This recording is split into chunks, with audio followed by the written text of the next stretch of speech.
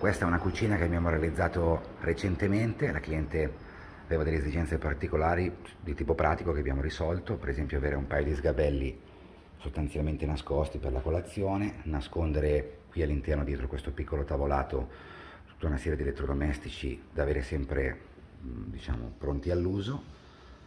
La parte molto interessante è soprattutto qui a destra dove abbiamo raccolto quello che vediamo grande il frigorifero, nell'angolo c'è una grande dispensa molto molto contenitiva perché è profonda.